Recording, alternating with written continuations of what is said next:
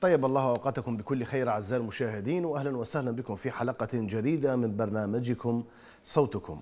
صوتكم الذي يصل عبر شاشة الرافدين نستقبل اتصالاتكم ورسائلكم القصيرة على خدمة الواتساب حول آخر التطورات على الساحة العراقية وعلى الأرقام الظاهرة أسفل الشاشة. ماذا يعني حل الفصائل المسلحة وتسليم أسلحتها للحشد الشعبي؟ هل دعوة الصدر يوم أمس بحل ما سماها الفصائل المسلحة وتسليم أسلحتها وتطهير الحشد كما قال قابل للتنفيذ؟ أم أنها دعوة سياسية كما سماها مراقبون؟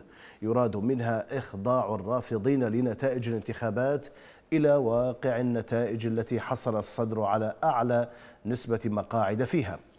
كيف نفسر تحذير مرشد إيران؟ علي خامنئي اليوم للتخلي عن السلاح. ألا يقصد به سلاح ميليشياته في العراق؟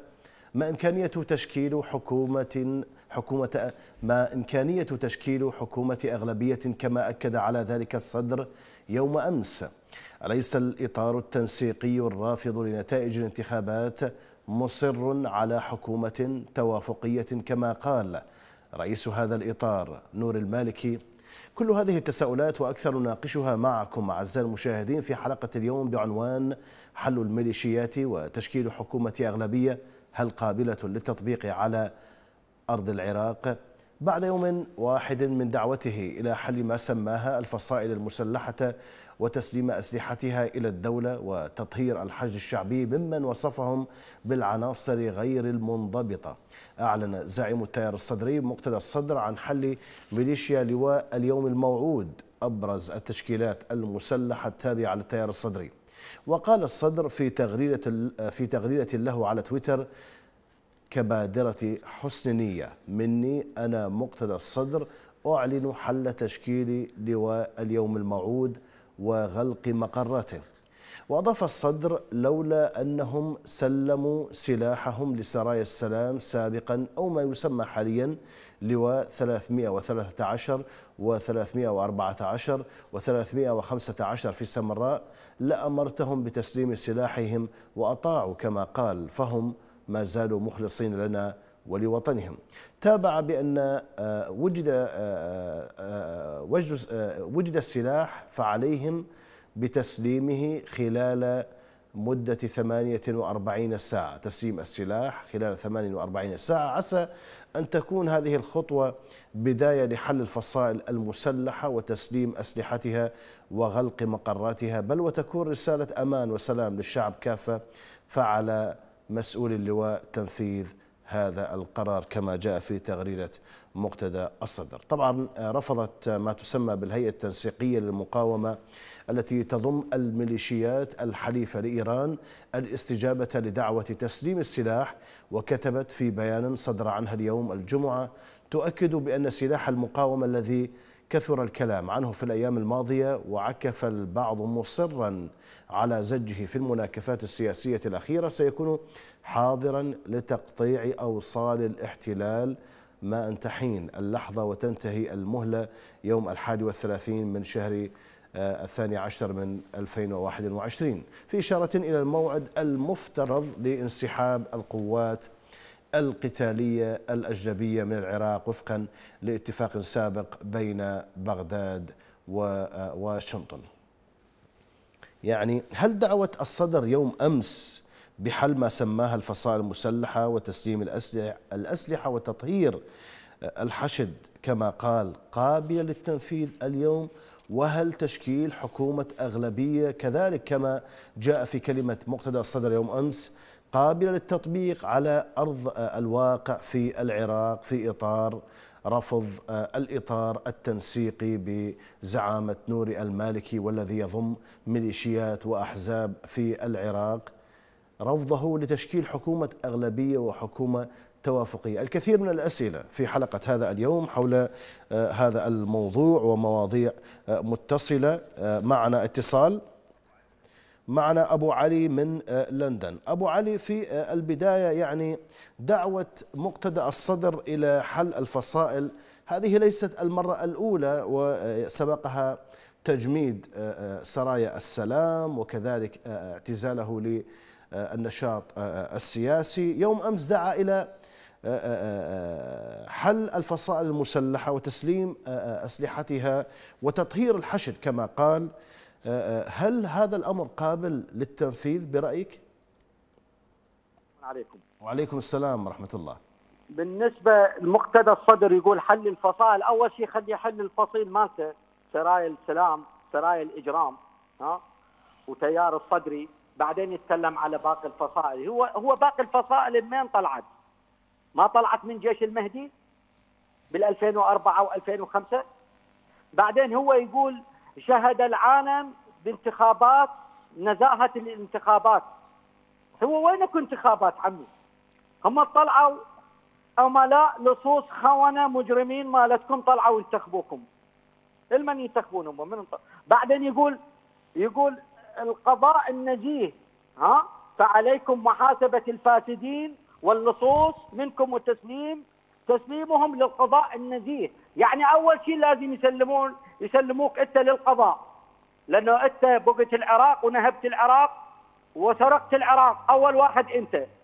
هو يا قضاء نزيه مدحت المحمود هذا العميل الخائن لو فائق زيدان هو لو أكو قضاء نزيه كلكم تنعدمون من مقتدى إلى الحكيم إلى المالكي إلى الفياض إلى العامري. كلكم تتعلقون على المشانق. مو بس أنتوا أنتوا واللي دعمكم واللي اعطاكم الفتوى. بسرق العراق ونهب العراق. أخي هاي مسرحية. امم يعني تشوفها مسرحية. مسرحية غير قابلة للتنفيذ هذه الدعوات. نعم نعم مم. غير قابلة. هو يقول لك حل حل الفصائل وسلم سلموهم للحشد. زين إحنا سوينا. السلاح هذا يسلمه للحشد. ها؟ بواسطة ما أدري شلون قائد القوات المسلحة يعني رئيس الوزراء. زين رئيس الوزراء أول شيء له علاقة بالحشد. بعدين الفصائل يقولون يقولون الصراحه يقولون إحنا هم من الحشد. بحسب القانون الذي أقره البرلمان رئيس الوزراء هو القائد العام للقوات المسلحة. نعم. والحشد يأتي ضمن هذه القوات. بس قبل أسبوعين انضرب بطائرات مسيرة. أحسن. مم. قبل أسبوعين انضرب طائرات مسيره ها؟ وبعدين الحشد ما الحشد ما له علاقة بالقائد القوات المسلحة. عمي الحشد إجت من فتوى. فتوى قاسم سليماني وفتوى السستاني وفتوى خامنائي ما له علاقة بالحشد. إحنا أهل النجف لا نعترف بحشدكم ولا نعترف بميليشياتكم ولا نعترف بمقتدى. مع الأسف بعض بعض الأخوة يطلعون على اليوتيوب هم اللي يعتبرون نفسهم ها؟ هم هم معارضين ها؟ جايدون بهذه بهذه مبادرة مقتدى ويقولون إحنا أخي مقتدى والمالكي والعامري والخزعلي والفياض وكلهم مجرمين قتلة. نعم. زين أبو علي أريد أسألك أبو علي من العام 2003 ولغاية الآن لم تشكل حكومة أغلبية. تشكلت حكومة حكومات توافقية حكومات محاصصة هائلية هائلك. البارحة الصدر أكد على موضوع آه، أنه يجب أن تكون هناك حكومة أغلبية أو إحنا نذهب إلى المعارضة في الوقت نفسه نور المالكي اللي هو اليوم آه، رئيس الإطار التنسيقي الرافض لنتائج الانتخابات أكد كذلك في مقابلة مع قناة بي بي سي بأنه يجب أن تكون هناك حكومة توافقية برأيك هل الصدر قادر على الصمود على موقفه بتشكيل حكومة حكومة أغلبية؟ لا لا ما يقدر. ليش؟ انت راح توافقون عمي. لا ريحوا نفسكم يا شعب العراقي.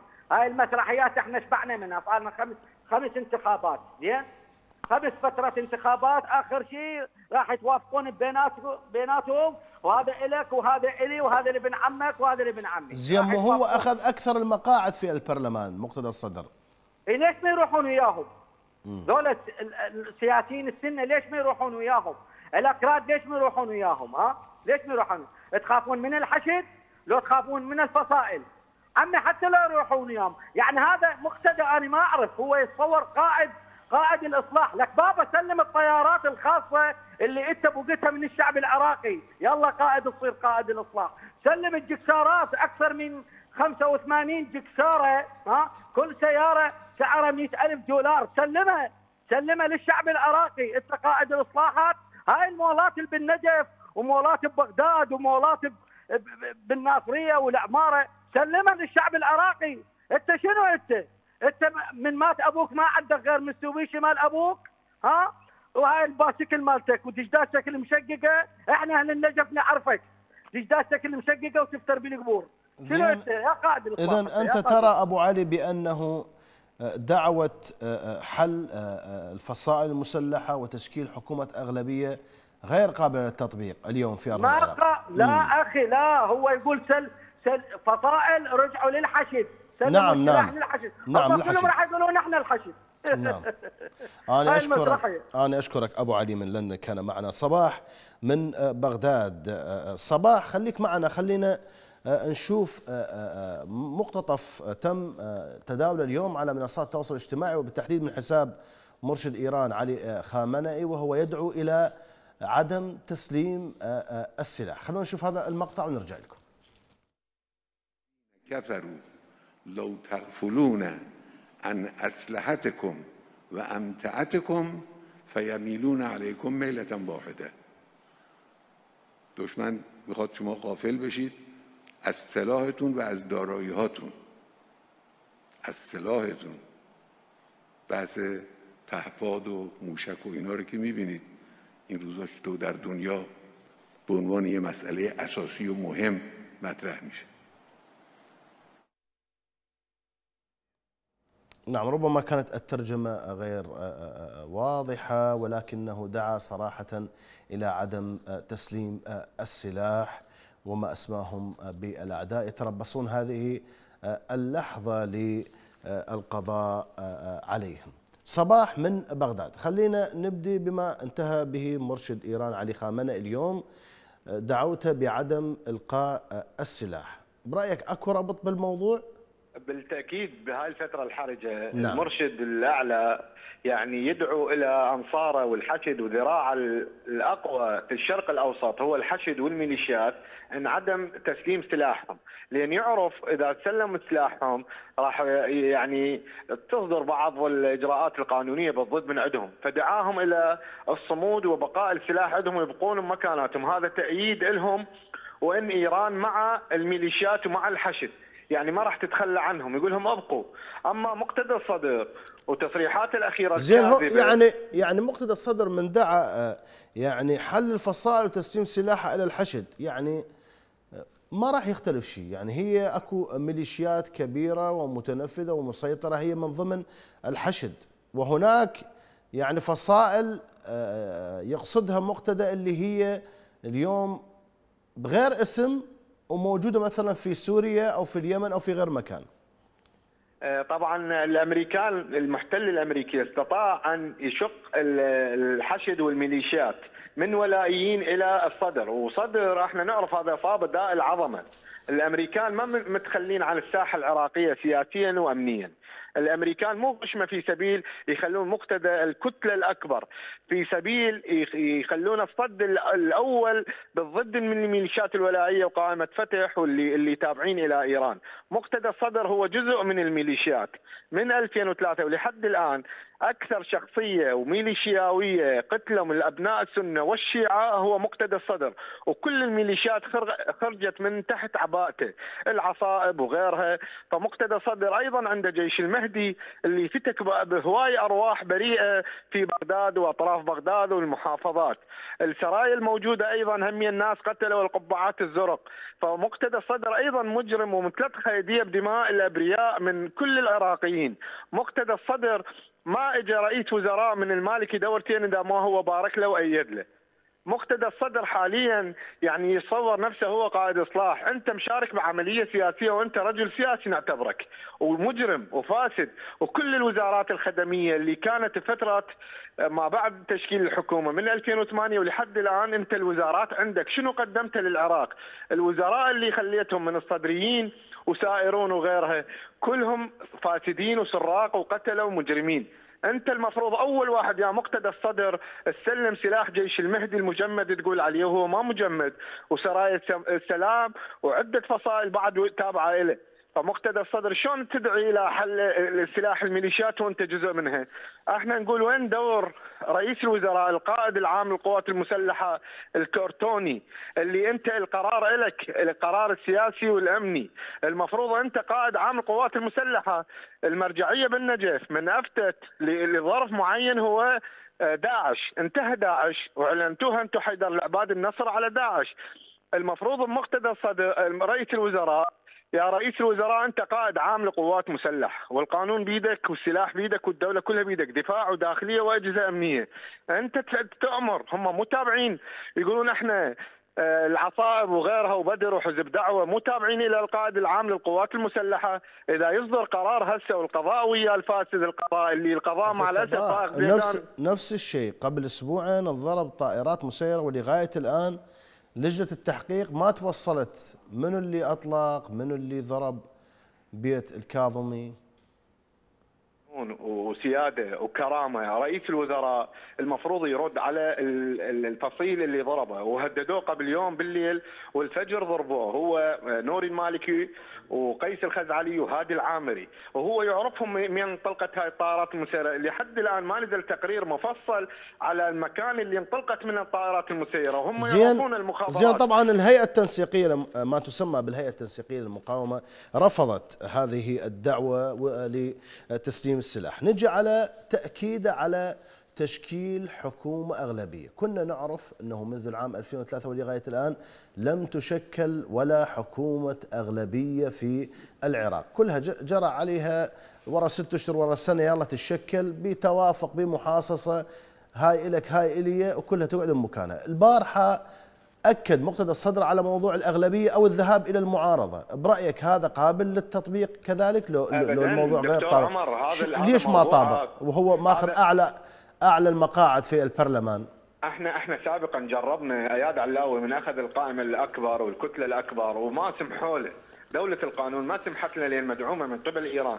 مقتدى الصدر. هذا كل هذا الفيلم الهندي مالته في سبيل يصير ضغط عليه وبالأخير راح ينصاع لهم يعطوش كم مليار دولار وراح يسكت. مقتدى الصدر ما يهمه العراق والعراقيين لو يهمه مصلحة العراق وبناء عراق كان كان قاتل هاي الميليشيات الولائية إلى إيران مو يقول أنا عراقي عراقي واني مصلح خلي يقاومهم أيضا راح راح بالأخير راح نشوف التنازلات اللي راح يقدمها مقتدى صدر بها مكاسب مادية وأيضا مناصب سيادية من وزارات ياخذها سيادية.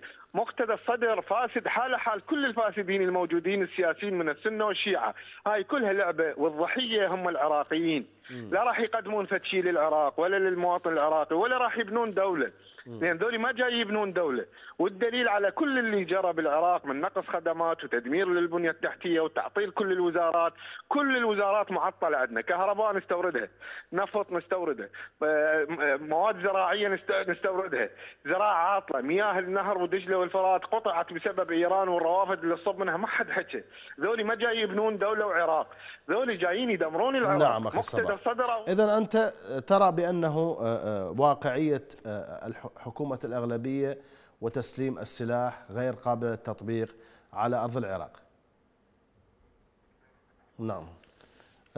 صباح من بغداد كان معنا. شكرا جزيلا لك. أبو عراق من الفلوجة. أبو عراق برأيك هل تشكل حكومة أغلبية؟ السلام عليكم وعليكم السلام ورحمة الله. أهلا وسهلا بك. أنا اسمع عليك أستاذ عمر من تقول تشكل هو شو وقت صارت عندنا حكومة إحنا؟ أستاذ عمر يخليك إحنا هم يسموها إحنا حكومة. إحنا نعم. إحنا ما ما عندنا شغل إيه؟ يقول حكومة نعم. ما أستاذ عمر. الشعب العراقي غشيم عنها؟ أستاذ عمر. العبرة ليست بالتسمية العبرة بالفعل. سميها ما شئت. نعم. حتى حتى لو تشكلت هسه ما يقولون حكومة. م. الحكومة غير غير عندها سيادة غير عندها سيطرة. أسألك بالله عليك اذا اذا بيت الكاظمي نفسه ضربوه بطيارات مسيرة وما قدر يحصل شيء. ويقول إحنا عرفنا. يلا ظهر لي واحد من عندهم وين قتلت المتظاهرين؟ يلا طلعوا لي عمي أستاذ عمر الله يخليك. نعم. الشعب الشعب بعد ما ينضحك عليه أستاذ عمر. وأنا أزعل على كل واحد من يقول لي إحنا بحكومة لا عمي مو حكومة. إحنا تحت مافيات عصابات سرقه أسألك بالله عليك اللي يلبس العمامة هو واجبه يجي بالبرلمان؟ واجبه يصير بهاي الحكومات عمي وكل شيء له مكان يا أستاذ عمر. كل شيء له مكان. أما الصدر وغير الصدر عمي والله ما يقدرون بعد. ال- ال- العراق أستاذ عمر العراق انتهى. بشغلة واحدة ينجح العراق. إمتى ما توحد العراق وصار إيد واحدة ويقضون على ذولا العصابات المافيات أنا ما أقول حكومة. نعم. يعني انقهر إذا أقول حكومة. إمتى ما الشعب ذي الساعة أقول راح تصير حكومة؟ وسياده نعم. عندهم. أنا أشكرك أبو عراق من الفلوجة كان آه، معنا. طبعا آه، آه، قبل ذلك دعا المتحدث العسكري باسم ميليشيا كتائب حزب الله في العراق أبو علي العسكري أمس الخميس. الجهة التي دعت إلى حصر السلاح بيد الدولة ويقصد مقتدى الصدر بالشروع هي أولا بتسليم سلاحها وخصوصا الثقيل منه وأن تنقل مسؤولية ما لديها من ألوية إلى قيادة الحشد الشعبي لغرض تنظيمها وإبعاد غير المنضبطين منها في إشارة إلى ميليشيا سرايا السلام التابعة للصدر كما قال الأمين العام لميليشيا كتائب الإمام علي شبل الزيدي يوم أمس قال بأن الأطراف المعترضة على نتائج الانتخابات لم تعمل لهدم العملية السياسية أو القفز عليها بل تهدف لإعادتها إلى جادة الصواب. مضيفا نحن بناة دولة وطلاب حق وما ضاع حق وراءه مطالب ولن آه، يفت عزمنا آه، آه، تكالب القوى المضادة ولا بياناتها ولا مباركتها بشرعية النصب والاحتيال كما قال. معنا اتصال أبو زينب من النجف. أبو زينب حل فصائل مسلحة وتسليم سلاحها إلى الحشد الشعبي؟ ماذا فهمت من كلمة مقتدى الصدر يوم أمس؟ السلام عليكم. وعليكم السلام ورحمة الله. أهلا وسهلا بك. أي قرار أي قرار فيما يخص التشكيلات العسكرية سواء كانت نظامية أو غير نظامية وخاصة فيما يتعلق بالأسلحة وتسليمها أو كذا. يجب أن يكون بيد القائد العام للقوات المسلحة وليس بيد زيد أو عمرو من الناس مهما كانت صفته. نعم. وإلا على رئيس الوزراء أن يعتزل ال- ال- المنصب ويعتزل السياسة وسيادته وقيادة ال- القوات المسلحة. والسلام عليكم ورحمة الله وبركاته. وعليكم السلام ورحمة الله وبركاته. مستمرون معكم أعزائي المشاهدين بتقديم هذه الحلقة. نأخذ هذا الفاصل ونعود إليكم.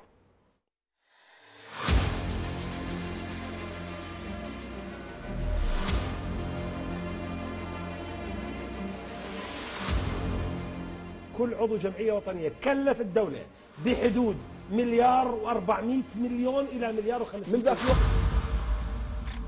بس رواتب الشخصية بدون الحرس بحكي عفوا. طبل بجيبه. عضو الجمعية الوطنية عن خدمة تسعة أشهر. هاي الطبقة السياسية شرعت هذا القانون. يا شعب أنت شلون تعيد انتخاب هاي الطبقة السياسية والمتحدث منهم؟ أنا كنت عضو جمعية وطنية وأنا استفادت من هاي الامتيازات. وعن خدمة تسعة أشهر طبل بهالجيب مليار و400 إلى مليار و500 مليون عدا تكاليف الحراسات. بشرف ها؟ هاي طبقة سياسية يصير هذا الشعب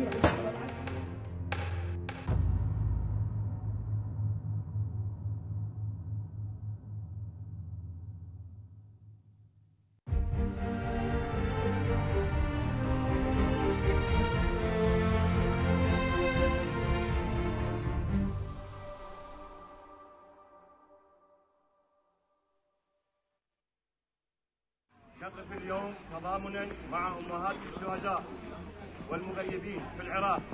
لنقول إننا لن نسمح بأن تمضي الجرائم الفظيعة التي حصلت أرواح العراقيين دون عقاب صارم. لنقول لأمهاتنا اللواتي فقدن قره اعينهن في تجريد وضحايا الاغتيالات والخطف والتغيير. في محافظات الوسط والجنوب إلى أمهات الشهداء والمغيبين اسرا وضحايا المقابر الجماعية في البوصل والانبار وصلاح الدين والمركوب والجال ما يجمعنا هو أننا جميعا ضحايا هذا النظام المجرم والفاسد وما يوحدنا هو مطلب القصاص والنزاع من القتله والمنتهكين وإنهاء الافلات من العقاب. أهلا بكم من جديد معنا ضياء من الأنبار. ضياء هل تتحقق حكومة أغلبية في العراق كما دعا إليها الصدر وأكد يوم أمس؟ نعم. تفضل ضياء. شلون؟ شو أخبارك؟ يا هلا بك تفضل. أحييك وأحيي برنامج وأحييك قناة الرافدين يا هلا بك. والله يا أستاذ إحنا شوف هسه إحنا انت تقول على هاي الحكومة. هم الرؤساء من يتوحدون يصير عندهم حق الله وينتبهون على الفقير وينتبهون على الناس على العراق. لأن إحنا والله ضحينا وانطينا شهداء من أجل الوطن ومشينا وإحنا ما نتفرق نقول سنة وشيعة وهذا الوطن ما نبيعه. والله إحنا متوحدين إن شاء الله. لو هم إيش ما يسوون؟ هو اللي يلبس عمامة الرسول يخلي حق الله فوقه. ينطي حقوق هاي الناس يمجوا الله صحيح. ها؟ والله أني ما أعرف شو أقول لك أستاذ. فإحنا متوحدين صار عندنا مال عزاء توفى آه، عام آه، الأستاذ محمد ريكان. والله بالناصرية جي أحس لحمة عراقية إحنا. ابن العمارة جي والله يا أستاذ توفى ابن عم الأستاذ آه، محمد ريكان حلبوسي منده إيه العراقيين ما لهم العراقيين الناس والله الناس. العراقيين ما لهم علاقة والسنة بذول كلها هالغيرة. هاي الموضوع. ناس نعم. متآلفين ومتعايشين و... نعم. ومر- نعم. بس إيه، إحنا بس أنا سألتك هل الحكومة هل نعم. هناك مو إمكانية لتحقيق حكومة أغلبية لو حكومة توافقية مثل ما يؤكد عليها الإطار التنسيقي؟ مو أستاذ عمر الله يخليك. إحنا مو إحنا دا أقول لك هم السياسيين على راسي كلهم. وهم من يتوحدون. والله ويصير قلوبهم صافية. نعم. نعم. أستاذ ما صار. هم من يتوحدون. يصفون قلب. أي من يصفون قلوبهم؟ والله هم يوميا. يوميا مسوين اطلابة يوميا مسوين هي مشكله أنا أقول لك يوميا شو ما صار لنا متفقين 19 على سنة. رأي. 19 سنة صار لنا. يعني 19 شو يصبر بعد الواحد؟ نعم. يعني أنا ما أجي عني. أجي أجرب واحد صار له العزيز. 19 سنة يبوق. ويسرق وينهب نعم. ويدمر البلد. أستاذ شنو؟ والله والله راح أقول لك. شنو هذا التعويل. نعم. نعم. والله أنا سايق كي واشتغل ببغداد أروح من الجرمه اشتغل ببغداد أجيب لي 10000 أحط بحالي جحالي هون على ثقة يا أستاذ. والله ما عندي. وبيت تجاوز مو مالتي مال عمامي. والان نطلب من الله بس نطلب من الله ثم إن شاء الله يجي واحد. شرواك وشروى أستاذ محمد والطيب يخلي حق الله أنا الناس. أشكرك ضياء و- من الأنبار كان آه، آه، معنا. آه، أكو اتصال؟ أبو ياسين من ديالى أبو ياسين ما إمكانية آه، تشكيل حكومة أغلبية في العراق؟ في ظل رفض الإطار التنسيقي لنتائج الانتخابات وتأكيد على تشكيل حكومة توافقية. يا هلا بيك تفضل. حياك الله عمر. حياك الله. يا هلا بك أهلا وسهلا بك اخ عمر هي حكومة اغلبيه ماكو هاي توافقية مو جديدة عليهم. بعدين هو مقتدى الصدر مو هاي ال- ال- الناس اللي طالعة فوق الخضراء. رافضه شرعيته ولا رافضه شرعية الانتخابات. هو السلاح يقول يستلمونه. هو السلاح هو مال مين هو ماله.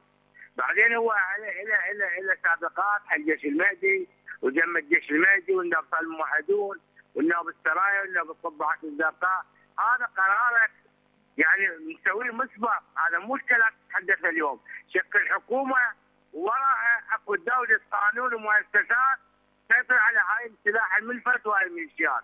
هذا راح يتحدث ولا يضحك على نفسه يضحك على الحريمة. شو يقصد وإذا بعض بعض المراقبين قال بأنها. يعني دعوة سياسية لا أكثر ولا أقل شو إيش تقرأها أنت؟ سياسية ومخادعة عمر مخادعة والرجل ما هو لو المتحدث مو اليوم من بعد الانتخابات طلعت يتولى رجل خلي يشكل حكومة حتى ذاك الوقت خلي نشوف والله هو عازم على سحب السلاح المنفلت على حل الفصائل يعني هذا الفصائل اللي يجيبه منه حطه منه. ودي يحطه بالحجز هو الحجز كله خارج القانون والفلت وطائفي مقيم.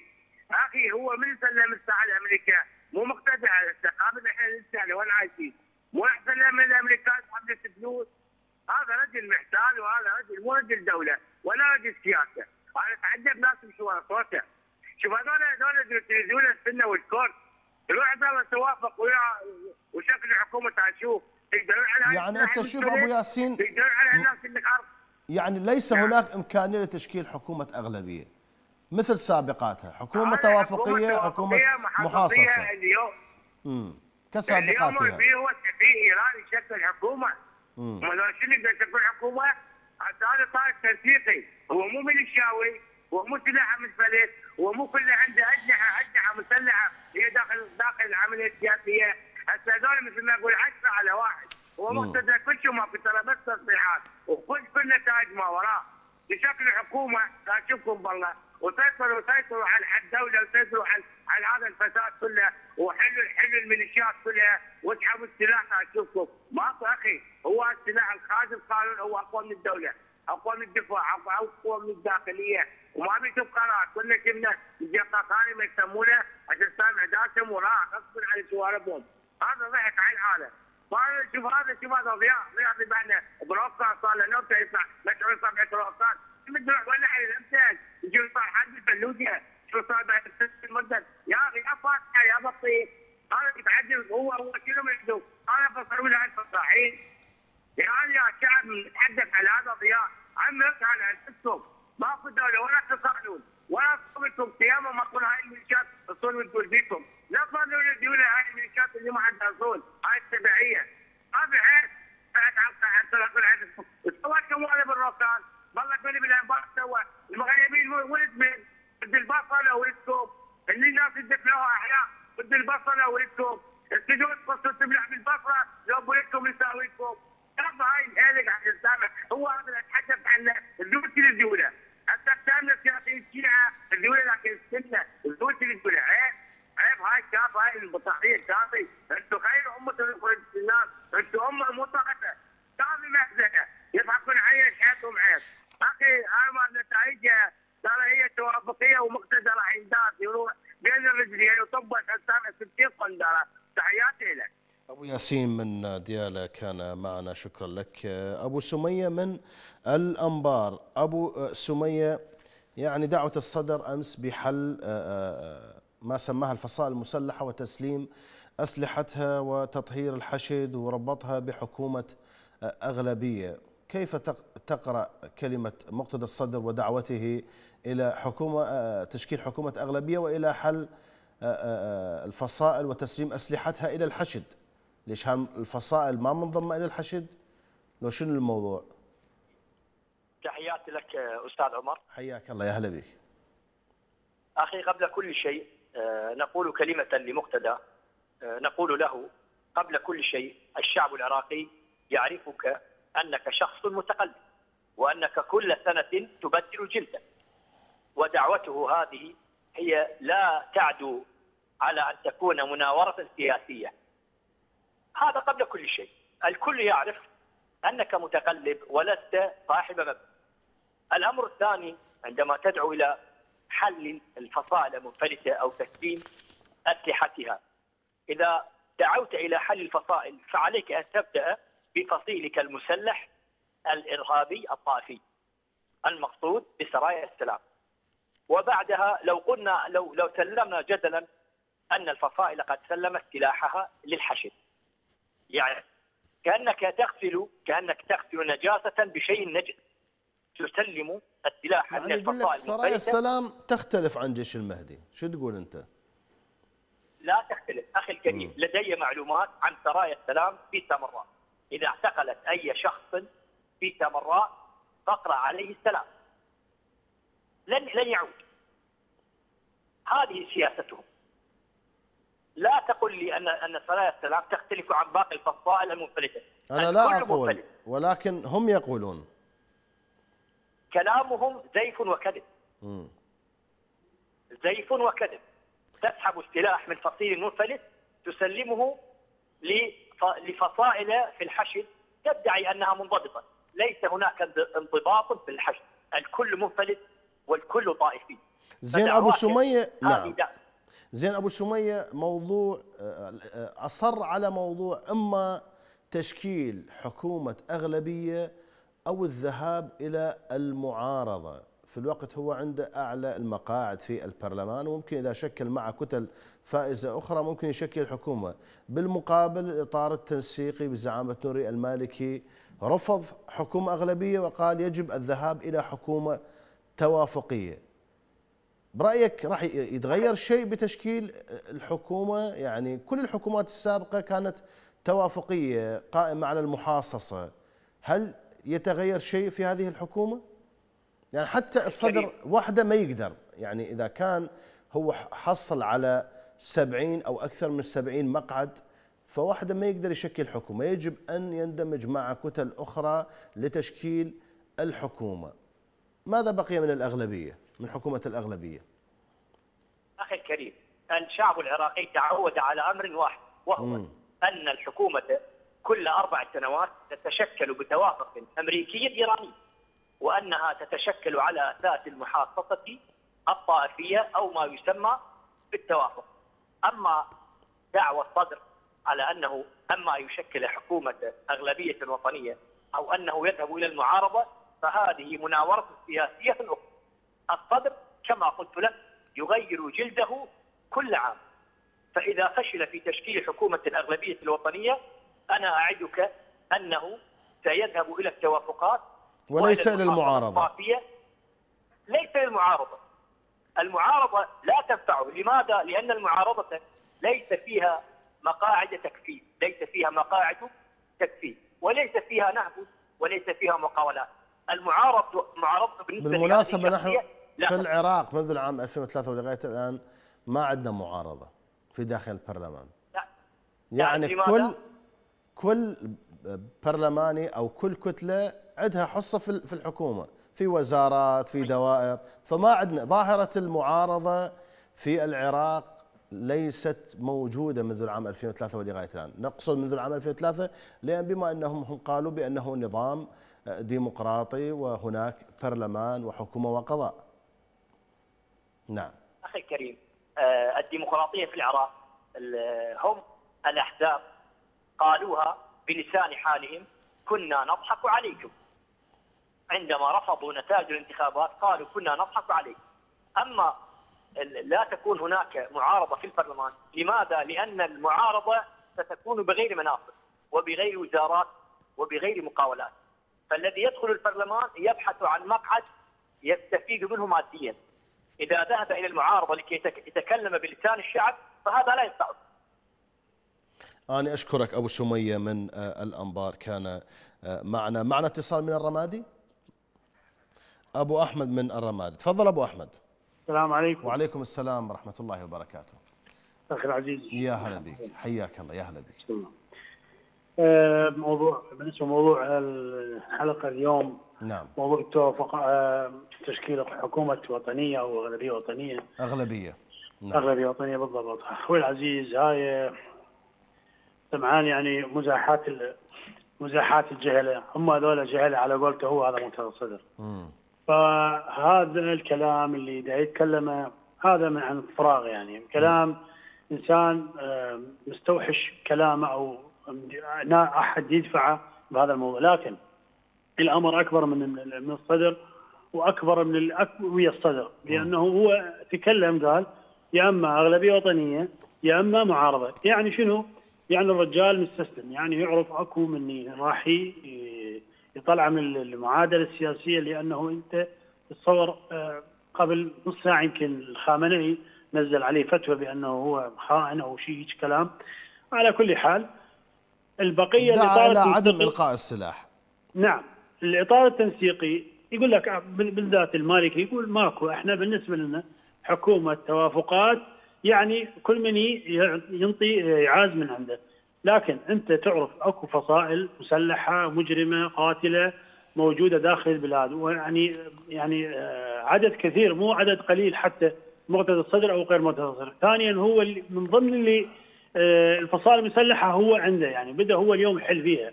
اذا هل أنه هؤلاء اللي هم جهة واحدة أو آه، ما نريد نقول طائفة واحدة، جهة واحدة أنه يتفاصلون أو يتخالفون لإرضاء غيرهم أو إرضاء الغرب أو إرضاء هم على حسب كلامهم.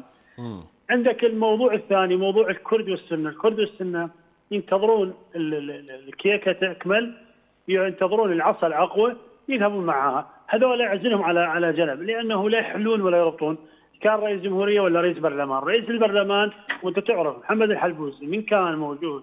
داخل البرلمان النائب ماله الصدري هو ترى كان متحكم بالبرلمان وليس محمد الحلبوسي، طبعا أنا آه، تابعت أكثر يعني جلسات البرلمانية وتابعت آه، تدخلات النائب مال هذا الكعبي أعتقد اسمه آه، فهو يعني مسيطر على على الجلسة. لا فإحنا بهذا الحال زين بالنسبة لي لدعوته بحل الفصائل وتسليم أسلحتها إلى الحشد.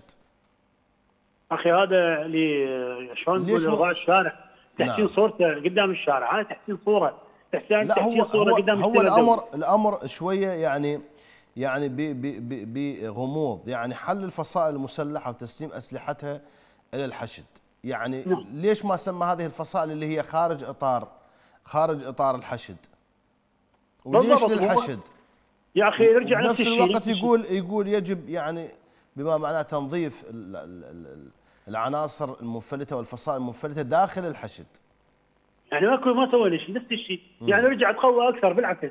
يعني خلاه بدل ما كان مخفي خلاه ظاهر وتحت السلطة يعني تحت يعني علم الدولة. يعني اني احله من من القتل السري وأخليه القتل العلني. يعني احله من من التخفي السري وأخليه يمشي بالعلني بقوة براحته وتسليحه اللي موجود عنده.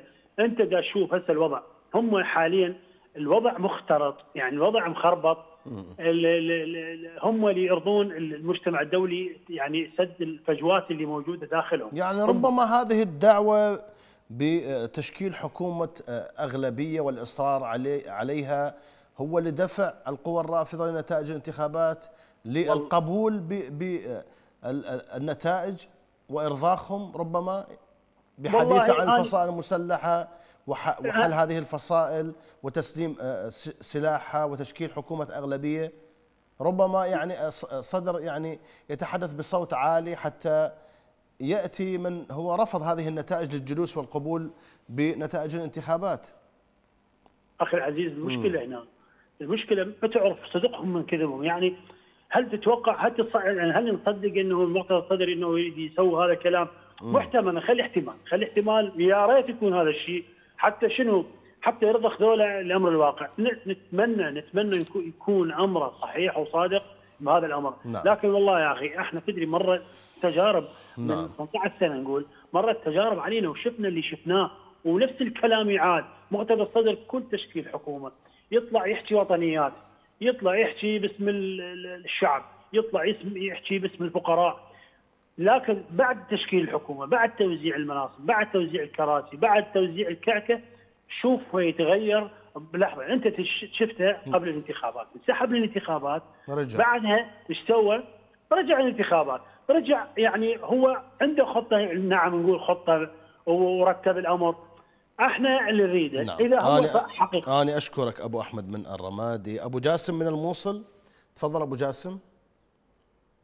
نعم نعم. السلام عليكم. وعليكم السلام ورحمة الله. تفضل. يا ريت نص التلفزيون للأخير. أشكرك أشكرك. يا هلا بك. أشكرك. إي نعم نعم. يا هلا بك.